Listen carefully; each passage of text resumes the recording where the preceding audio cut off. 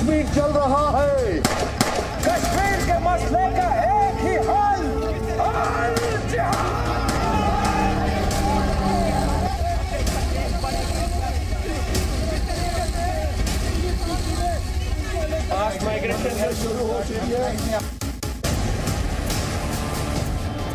चौबीस घंटे तो बैठक शाह डोवल का फाइनल प्लान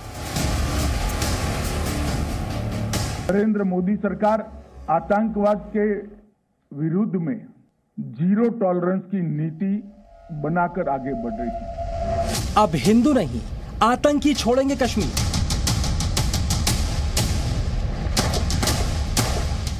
और मैंने ऐद किया मैं कश्मीर छोड़ के नहीं जाऊँगा कश्मीरी पंडित होके मैं कश्मीर नहीं छोड़ूँगा। आतंकियों के अड्डे पर सेना का बुलडोजर।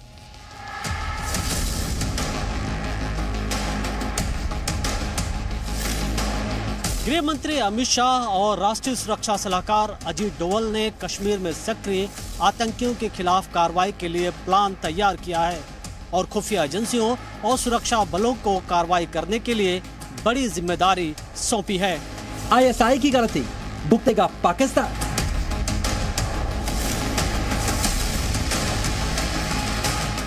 मैं आपको आज कहता हूँ पाकिस्तान के तीन हिस्से होंगे जो कि आप आम इनके थिंक टैंक्स हिंदुस्तान के थिंक टैंक्स में देख लें। बाहर जो सारे बलूचिस्तान को लैदा करने के प्लान हैं, इनके प्लान बने हुए हैं। शाह और डोबल की कश्मीर फाइल्स देश हित में अब बात करते हैं कश्मीर में आतंक के खिलाफ गृह मंत्री अमित शाह के नए मिशन की, जिसके लिए आज दिल्ली में एक हाई लेवल मीटिंग हुई। इस मीटिंग में एनएसए अजीत डोवल के अलावा सेना प्रमुख, खुफिया एजेंसियों के प्रमुख पैरामिलिट्री और जम्मू कश्मीर पुलिस के डीजी भी मौजूद थे। सूत्रों के मुताबिक इस मीटिंग में कश्मीर में टारगेट किलिंग करने वाले आतंकियों के खिलाफ फाइनल एक्शन प्लान तैयार किया गया है। सूत्रों के मुताबिक बैठक के दौरान सुरक्षा एजेंसियों से कहा गया है कि आतंकियों से जुड़े खुफिया इनपुट को और भी मज़बूत किया जाए ताकि जो हमले किए जा रहे हैं उनके बारे में पहले से जानकारी मिल सके। वहीं आतंकियों के खिलाफ एक्शन और तेज किया जाए। केंद्र सरकार अमरनाथ यात्रा और कश्मीर में सुरक्षा मज़बूत करने के लिए अर्धसैनिक बलों की तैनाती और बढ़ाएगी यही नहीं जम्मू कश्मीर पुलिस को प्रवासी मजदूरों और नॉन लोकल्स की सुरक्षा को मज़बूत करने की ज़िम्मेदारी दी गई है। साथ ही साथ सीमा पार से ड्रोन के ज़रिए हथियार भेजने की जो साजिश की जाती है, उस पर निगरानी तेज की जाएगी। कश्मीर में सिर्फ़ एक महीने के अंदर आठ टारगेट किलिंग हुई है। एलओसी पर, इस्लामाबाद और मुजफ्फराबाद में बैठकर कश्मीर में दहशत फैलाने की नई प्लानिंग तैयार की है। सीमा पार, नए लॉन्चिंग पैड्स की भी खबर है। और ये सारे संकेत बता रहे हैं पाकिस्तान की खुफिया एजेंसी आईएसआई कश्मीर में फिर से खूनी खेल खेलना चाहती है, जिसकी शुरुआत की जा चुकी है। लेकिन इस बार पाकिस्तान की खुफिया एजेंसी और पाकिस्तान परस्त आतंकवादियों को उनकी ये भूल बहुत भारी पड़ने वाली है। क्योंकि कश्मीर में टारगेट किलिंग पर पलटवार की कमान एक बार फिर से गृह मंत्री अमित शाह और एनएसए अजीत डोवल ने संभाल ली है। कश्मीर में हिंदुओं और सरकारी कर्मचारियों की हत्या के बाद दिल्ली में एक हाई लेवल मीटिंग हुई। गृह मंत्री अमित शाह की अध्यक्षता में हुई ये मीटिंग कितनी महत्वपूर्ण थी, इसे आप इस तरह से समझ सकते हैं कि इसमें शामिल होने के लिए जम्मू कश्मीर के उपराज्यपाल मनोज सिन्हा भी दिल्ली पहुँचे। मीटिंग में गृह मंत्री की एक तरफ़ उपराज्यपाल मनोज सिन्हा और दूसरी तरफ़ एनएसए अजीत डोवल बैठे थे। मीटिंग में army chief general Manoj Pandey, raw chief Samant Goel, DG CRPF, DG BSF और आईबी चीफ के अलावा सभी बड़ी एजेंसियों के अधिकारी मौजूद रहे। गृह मंत्री अमित शाह और एनएसए डोवल ने 24 घंटे में दो बार मुलाकात की है और टारगेटेड किलिंग करने वाले आतंकियों के खिलाफ फाइनल प्लान तैयार किया है। ठीक उसी तरीके से, जिस तरीके से आर्टिकल 370 हटाने के दौरान खुफिया एजेंसियों, अर्धसैनिक बलों, जम्मू कश्मीर पुलिस और सेना को अलग अलग ज़िम्मेदारी दी गई थी, ठीक वैसे ही टारगेटेड किलिंग करने वालों के खिलाफ इन सभी एजेंसियों को जिम्मेदारियाँ दी गई हैं। सभी का एक ही लक्ष्य है, टारगेट किलिंग करने वाले आतंकियों को खत्म करना और जम्मू कश्मीर को आतंक मुक्त बनाना। चलिए अब आपको बताते हैं इस मीटिंग में किन किन मुद्दों पर बड़ा फैसला लिया गया है। शाह डोवल के सेक्शन प्लान में सबसे ऊपर घाटी में कश्मीरी पंडितों और हिंदुओं की सुरक्षा है। इसके अलावा अमरनाथ यात्रा में सुरक्षा का फुल प्रूफ प्लान भी बनाया गया है।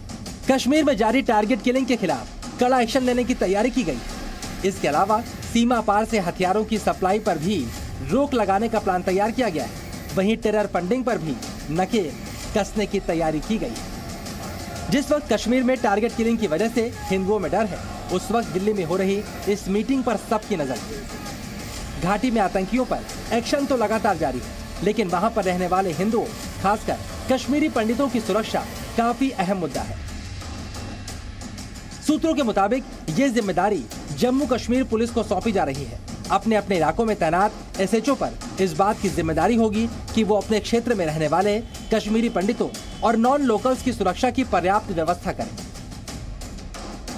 सेना प्रमुख जनरल मनोज पांडे भी इस मीटिंग में मौजूद रहे। घाटी में ऑपरेशन ऑल आउट चला रही सेना और पैरामिलिट्री फोर्सेस को भी बड़ा रोल सौंपा गया है। पिछले दिनों जम्मू कश्मीर में ड्रोन से हथियार सप्लाई की साजिशें भी सामने आई। ऐसे में सेना और बीएसएफ सीमा पार से आने वाले ड्रोन पर भी नज़र रखेंगे, जिससे आतंकियों को हथियार सप्लाई पर नकेल लगाई जा सके। सीमा पार, आतंकवादियों के लॉन्च पैड एक बार फिर से सक्रिय हुए हैं। ऐसे में सीमा से घुसपैठ रोकने की ज़िम्मेदारी भी सेना और बीएसएफ के पास है। वहीं रॉ और आईबी सीमा पार और घाटी में आतंकियों के नेटवर्क के जाल की सूचनाएँ सुरक्षा एजेंसियों तक पहुंचाएँगी, जिससे आतंकियों के हमले से पहले ही सुरक्षा बल अपने एक्शन से आतंक का काम तमाम कर दें चाहे कश्मीर हो या नॉर्थ ईस्ट हो या देश का कोई भी हिस्सा हो, बहुत लाजमी है फॉर एनी सक्सेसफुल ऑपरेशन कि जो हमारी सुरक्षा एजेंसीज हैं और जो खुफिया एजेंसीज हैं मिलजुल कर अच्छे तालमेल के मुताबिक काम करें। और ये बड़े पैमाने पर अच्छा तालमेल जो है आज कायम है कश्मीर में और नॉर्थ ईस्ट में। इस मीटिंग में अमरनाथ यात्रा की सुरक्षा को लेकर भी गंभीर चर्चा हुई है, क्योंकि इस पर भी आतंकी हमले की आशंका ज़ाहिर की जा चुकी है। अगर खुदा न खास्ता वहाँ एक भी गड़बड़ होगी, उसका नतीजा न सिर्फ़ जम्मू कश्मीर को उठाना पड़ेगा, सारे भारत को उठाना पड़ेगा। उसके लिए होशियार रहना चाहिए इन्हें। बहुत ज़बरदस्त होशियारी करनी चाहिए। फ़िलहाल टारगेट किलिंग को हथियार बनाकर आतंकियों ने एक बार फिर से कश्मीर में 1990 जैसी दहशत फैलाने की प्लानिंग बनाई है।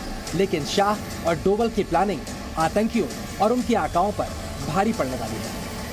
मनीष शुक्ला, जी मीडिया, दिल्ली। चलिए अब आपको समझाते हैं आखिरकार राष्ट्रीय सुरक्षा सलाहकार अजीत डोवल के एक्शन से कश्मीर के आतंकियों में खलबली क्यों मच जाती है? सबसे खास बात है कि अजीत डोवल ने पाकिस्तान में काफ़ी काम किया है, इसलिए पाकिस्तान प्रायोजित आतंक की उनके अंदर भरपूर समझ है। इसके साथ साथ आर्टिकल 370 हटाते वक्त डोवल ने सीमा पार से संभावित साजिशों का काउंटर प्लान पहले ही तैयार कर लिया था। यही नहीं, टेरर फंडिंग के खिलाफ एनआईए का इस्तेमाल करके उन्होंने कश्मीर में आतंकियों, अलगाववादियों की कमर तोड़कर रख दी। आतंकियों और अलगाववादियों को देश के अलग अलग जेलों में बंद करने का एक्शन भी काफ़ी कारगर साबित हुआ था।